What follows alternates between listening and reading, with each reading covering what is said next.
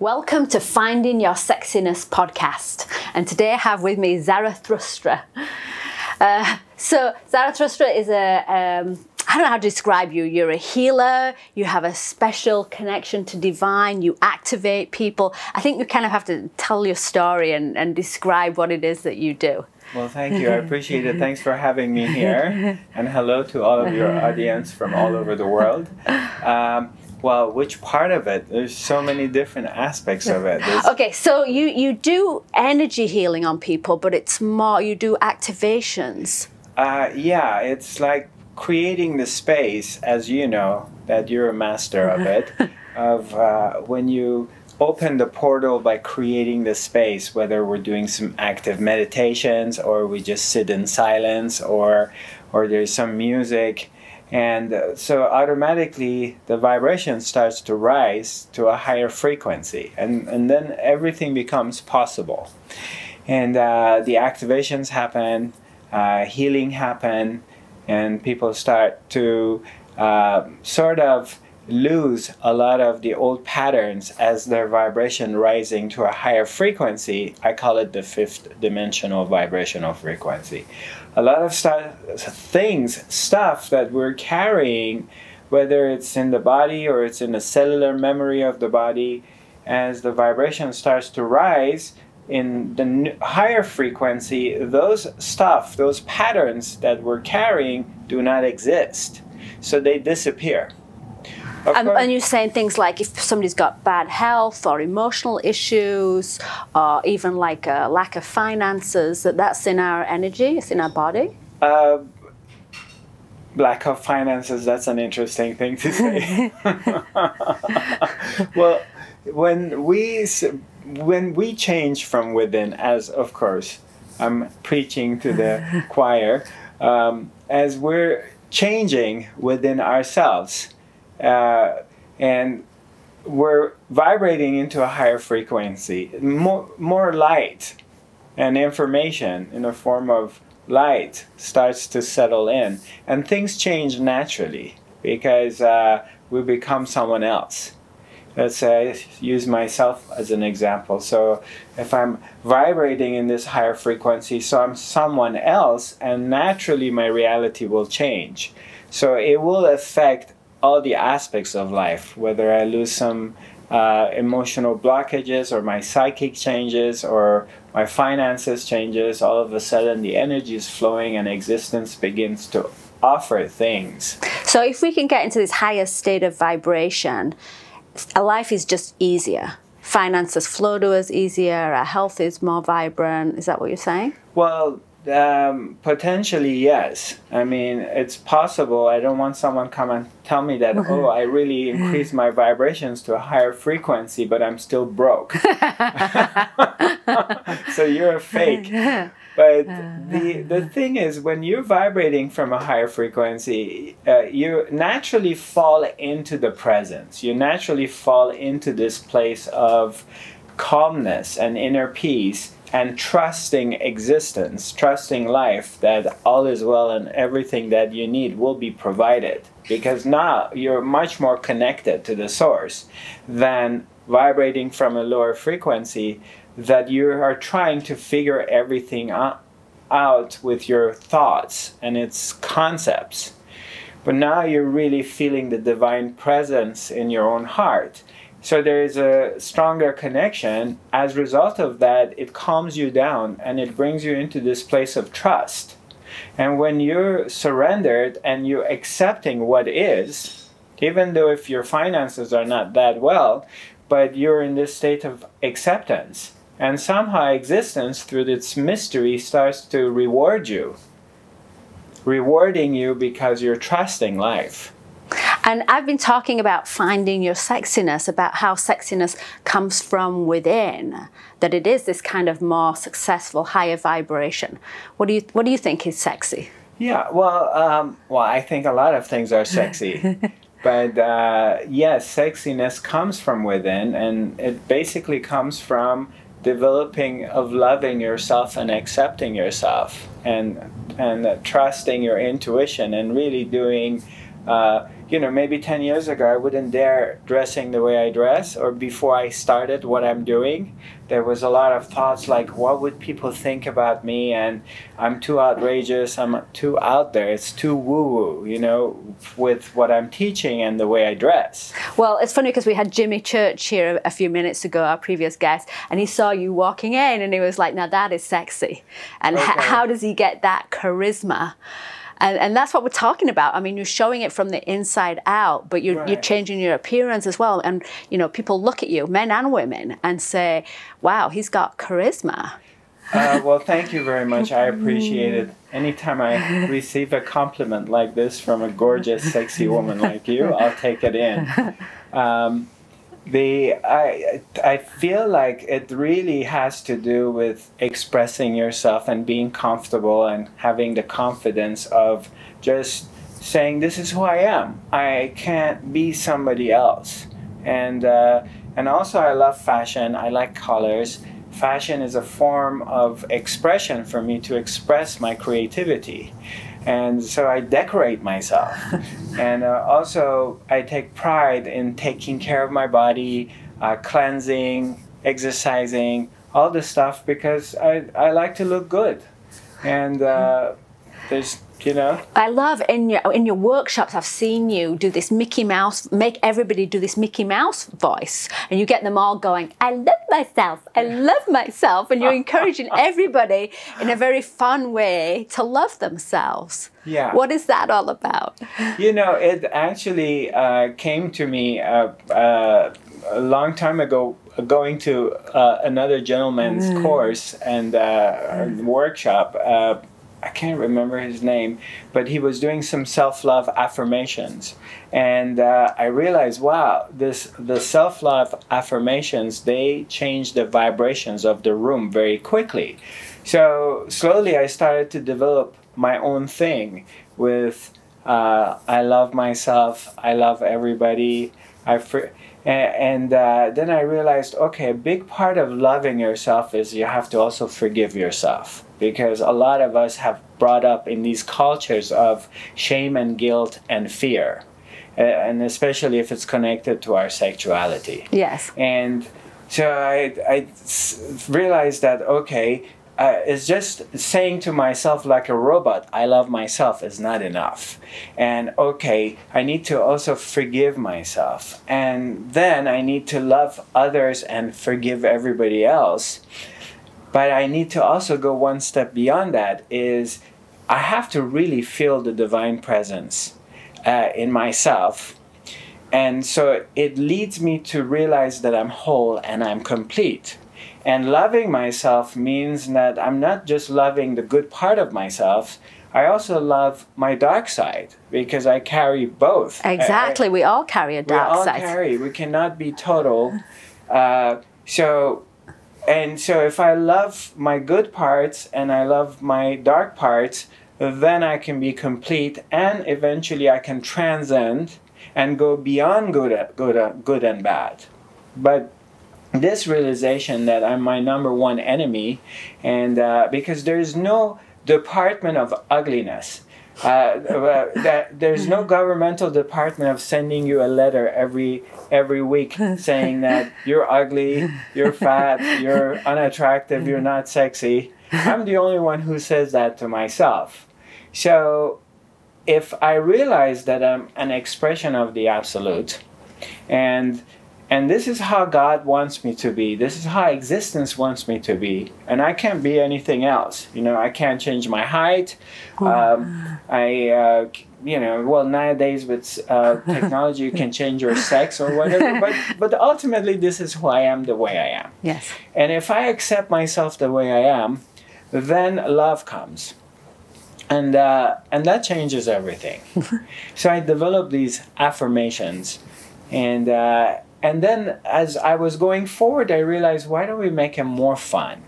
Like when you're saying it in a Mickey Mouse language, it automatically brings this joy within yourself. I love myself. I love myself. I forgive myself. so that's how it got developed. And it's it's very interesting because I travel. I go to Europe a lot, and uh, and you know, just like you, you meet a lot of people, and you know, you're you're doing a lot of uh, expos around the U.S. mostly, correct? Yes. Yeah. Yeah. And um, and you meet a lot of people, and consequently, you don't always remember what they look like or what happened or how, what kind of um, effect you've had on them. Because I do hear from a lot of people about you that they came to one of your events, and uh, whether it was a um, a past life regression or wha- whatever you were doing it Yes. was the theme of and and you told them something or you brought them to a place of realization and their lives changed and i hear that about you how Oh, wonderful you. you are Thank you. and uh, and your audience should know that, that you're high end, uh, top shelf, high class, and um, and uh, so I run into people here and there, and I don't know who they are, and they walk up to me. I'm sitting in a restaurant eating, and someone comes and says, "Excuse me, I don't want to bother you, but I just want to share this with you. I want to tell you thank you." I go, uh, for what? He says, because I love myself. and, and, and every day that I wake up in the morning, I go, I go to the bathroom, and I look in the mirror, and I tell myself, I love myself in a Mickey Mouse fashion, and all of a sudden, my my day changes. So that brings a lot of joy for me, and I, it makes me realize that a very simple thing such as that, in a way, it's kind of silly, Yes. but it's simple. It really can change someone's life. Oh. So how did you start doing this? I mean, did were you born like this? Was this like a sudden awakening that you had? I, I now that I look back, I, I had it from childhood. It was always there, and uh, but of course, like anything, it started to cultivate and slowly, slowly would awaken and come out. And uh, uh, as far as the healing part goes, that I had a very uh, profound dream when I was 21 years old. It's a long story. You heard it before. And uh, another thing happened is uh, a few years after that, I came across this incredible healer named Adele Tinnings. And this beautiful 80 year old Caucasian lady in San Diego with white hair and beautiful, gorgeous blue eyes, green eyes, such as yourself, and light was pouring out of her. And, uh, and she blessed me, and she gave me a carte carte blanche to hang out with her unfortunately i didn't have the awareness to i didn't recognize i came across an avatar. She was really uh, blessed she was awakened and she had a lot of spiritual powers. But i think uh, that short period of time that i was uh, honored to be around her it, it had a profound effect on me. And also it sort of awakened something in, inside me as far as this uh, desire for self realization, this desire for union with God, and and um, um, kind of understanding like why am I here? What am I doing on this planet? Um, I, I don't think I'm just here to um, make money and make babies and and live 60, 70 years old and then die or accumulate as much um, uh, properties and and worldly stuff. Uh, as you know, it's just not just about that. There is a deeper meaning to life than that. So my seeking years began ar- around that time. I was about 29 years old, and uh, I got to a point I realized that um, I was dissatisfied with the books I was reading and and different areas of spirituality I was poking in. I was in the spiritual market, checking out Buddhism, Islam, Sufism, looking into different uh, uh, uh, aspects of spirituality, Christian uh, mysticism or Kabbalah or things like that. And nothing was really giving me a satisfying answer. Uh, somehow, through the grace of God, I uh, ended up to India and I uh, landed at the feet of my uh, guru teacher. His name is uh, Poonjaji, Papaji, and he got me introduced to Advaita Vedanta teachings, which is the teachings of non duality. And I felt a strong resonance with these teachings. It was like, because I always felt like I was a very lazy a spiritual seeker, and the thought of oh, I have to get up at four in the morning and and uh, sit uh, uh, in uh, in a monastery in, in Tibet or somewhere like that or India and do meditation or do Kundalini or dynamic meditation, Osho stuff at that time in the morning, or I have to be fasting or I have to give up meat, and I thought, okay, I can do all those things, but I have to give up sex. and, and, how am I going to do that? Because it's one of my favorite sports. And, uh, and I don't think I can give that one up. And I come across this beautiful enlightened master, and the first thing he says on the first day that I sit in front of him, he says, There's nowhere to go and nothing to do. You are already that which you're looking for. And I was like, What? There's nowhere to go and nothing to do means I don't have to give up meat and I don't have to give up sex and I don't have to give up dressing sexy and all these things, not have to shave my head or look like a monk. No, you don't have to. And I go, well, this is my teacher. And uh, because this is the lazy man's way to enlightenment and it works for me. So I was very drawn to it. And of course, it took another 20 years 25 years of, of really understanding what he was teaching. Uh, but I was drawn to that. And, you know, so in a nutshell, uh, this is how I got pulled into this aspect and this path. And then you had like a download. Yeah, the major download happened in 2009 when uh, these so called entities, beings, started to whisper in my ear and they were telling me they're my fifth dimensional guides and wanted me to go print out a business card and announce myself as a fifth dimensional quantum healer.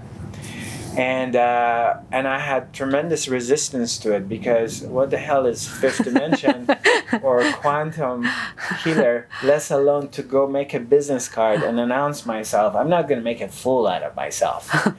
And uh, the voices started to get more intense and constant. And as you know, when you enter, when they choose you and they want to bring you in, they start to uh, dry out any other avenues that you can make a living. You know, everything, every other door gets shut down, and you get forced to go in this path. And not necessarily it's going to be easy and right away you're going to make a living or everything's going to be fine and you're going to be successful. You know entering into this path has its own obstacles and and uh, challenges that you have to go through. But that's what, what was happening. It was like no you are to be doing this. And uh, so i was like what is fifth dimension or quantum healing? They said okay go on internet and research it so I go on the internet and put fifth dimensional quantum healing, and there's nothing. So I say, well, there's no fifth mm. dimensional quantum healing, and they say, well, we know, because you're going to create it. so I study about fifth dimension, quantum, quantum healing, and things starts to slowly make sense, and I put it together, and finally I make a business card, and I gather my courage to walk out in the world and announce to the world that I'm a fifth dimensional quantum healer. And then slowly the activation came after that. And I've seen you work with big groups. Do you like to work with big groups rather than one on one? Yeah, I'm. I, basically, I feel like I'm designed. Uh, my design, this model is created in the world to be working with masses and big groups and I get a lot of energy from it, and uh, and I and then a, a lot of energy starts to come out of me.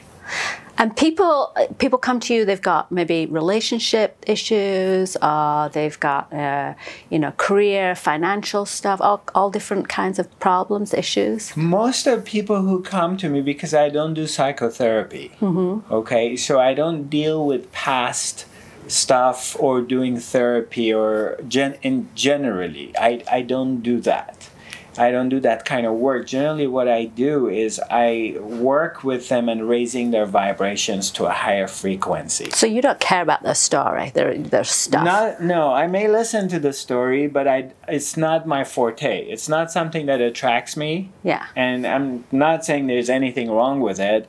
It's just as you know, we all find our niche Yeah. of where is it, where is my strength, and where is it that really feeds me, and I feel really good about it, you know? So I had to look at it to see if I want to deal with the story and do psychotherapy, even though I studied psychology, or I just want to deal with raising vibrations to a higher frequency and bypass all of that. Okay? So, um, uh, as a result of that, uh, most people come to me are they may have emotional issues, blockages, damages, and things happen to them, or psycholo- psychological stuff, or they're looking for awakening and, and being more connected, or there's physical stuff. So, uh, which basically I deal with all of it with one formula. All of it is if I'm capable, if I can help someone to uh, become quiet, because I discovered that the more your mind is quiet, the more you're in this place that you're not thinking, you're just here in this present moment, but you're not involved with your mental process. I, I realized that something gets activated. There's a grid awakens, and automatically the vibration of the person starts to change. And these issues they're dealing with starts to dissipate and disappear. Now the question is, can they uh, sustain this higher frequency? Which I'm sure you have encountered this with a lot of your people. Yeah, sometimes they'll get better, things will happen, it'll be great, and then mm, a few days later they're back to They- where they were. yeah, they regress, they Yeah. fall fall down. And uh, when you are with them, they're in your presence, you're working with them, all of a sudden all their issues disappear. And that seems like the common uh, issue and challenge that most spiritual seekers have. Uh, when they're with their guru, with their spiritual leader, everything disappears and they feel fantastic. And then when you're not around, they fall back into their old patterns. And uh, so what I realized is, can I train them? Can I teach them and, and introduce them to a system that they can maintain and sustain this higher frequency uh, level?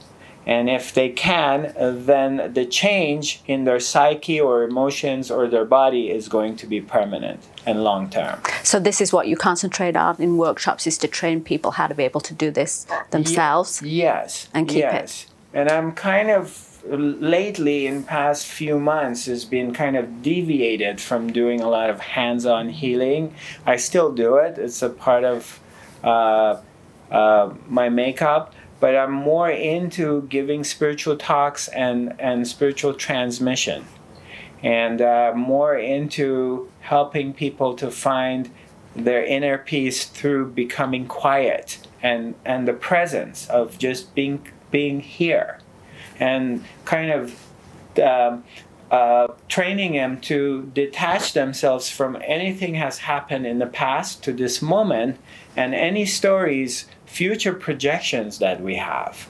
And i realize that the more i'm able to bring someone in this moment automatically change happen and healing happens So I don't know if you can do this, but is there anything you could give us a quick snippet for people at home? Is there anything you could, you know, say, talk to give us a little for the people at home to see if we can raise their vibration a little bit? Yeah, it's uh, it's actually it's very very simple. Is basically what I realized. This is what happened to me, and I realized that all my life I've been. Let, let's say, for example, hypothetically, I mean, people, you don't have to agree with me or disagree with me, but let's say our thoughts and our emotions are objects. And uh, of course, we we associate our thoughts with our head. So we think thoughts are happening here, and emotions we we feel like it's happening inside our bodies. Yes. Uh, well, let's say that's the case, hypothetically, and and let's if we agree that our thoughts are objects, and because they're passing through they're, the stream of thoughts it's maybe constant or not but they're not always there. And we're not always thinking about the same thing. So the thoughts are passing through. But but we're aware of our thoughts. And especially when we're doing conscious work we start to become more aware of of what is going on in our head. And consequently sometimes we come and say or people tell me like zarathustra my mind is going crazy. Can you do something about it? Or people come and tell me that i have a lot of fear or anxiety and i'm suffering from it. So these are emotions that that we're dealing with. So what the quick thing uh, an easy way of uh, helping somebody is can you bring your attention from your thoughts through where you are observing your thoughts, from where you're witnessing or noticing or aware, you are aware of your thoughts. I'm not talking about changing your thoughts, manipulating the thoughts, positive visualization, or positive thinking. I'm just talking about diverting our attention from the thoughts or the emotions into where they're being noticed. From where am I noticing my thoughts and emotions? And almost immediately, if I bring my attention to the source of I am, from where I can notice these things, all of a sudden it all disappears. And all of a sudden the heart opens up. It's almost immediate. It's amazing. It's very profound. The effect. So, if people at home listening to this, if they're thinking about their thoughts, you want them to focus on how they're noticing. Yeah, the one who notices the thoughts, not the thoughts. Who, so the thoughts are not ours. We don't own them. They're kind of passing by they're us. Passing by us all the time. They're not ours. That's why so many times you may be in a room you may just say, oh, you know what? I really feel like I want to have a cup of coffee. And four other people say, I was thinking about the same thing. So the thoughts are passing passing through and we got these antennas that we're picking them up. Because the thing is if you were your thoughts, let's say let's say it's true. Well, then how do you know you're thinking? Because thinking is the only thing you would ever know. So how can you say, my, my mind is driving me crazy? So you are the observer looking at the thoughts. The thoughts are separate. Absolutely. You've been doing it all your life. And does that help you when you've got negative thoughts? It doesn't matter. Ne negative thoughts, positive thoughts, they're the same thing. They're different sides of the same coin. They're, it's still thoughts. And how does that help you then to get to that place of releasing issues that you've got by noticing that you're not your thoughts? Right. Because the moment you're diverting your attention to the source, there's silence. And that's what you're looking for silence. Yeah, because, because if you're not thinking, then what is the problem that you're trying to deal with? Like, okay, I was a ch- I was a kid and I got abused, right? So I keep thinking about this issue right? Yes. It keeps coming up for me. Yes. But if I'm, but if my memory is blank, so where is the issue? The issue disappears. And when people realize that the thoughts are not them, they're just passing by and they're noticing that and they get into that stillness. Yes. Then they can start to heal and not re, re, re, re, keep thinking about it and recreating this issue that they have. The, the stillness becomes the healer because you're in this moment and then you get connected to the moment because you're always in this moment. You can never be anywhere else outside of this moment. I mean, physically, you can, geographically, you can move around, but you're always here. So if you come to here and you realize here, right now, it's very quiet, so the grid gets activated because the presence comes in, your vibration starts to change, and you have migrated from the head to the heart. So all of a sudden, your heart starts to open, and you start to feel the flow of the bliss.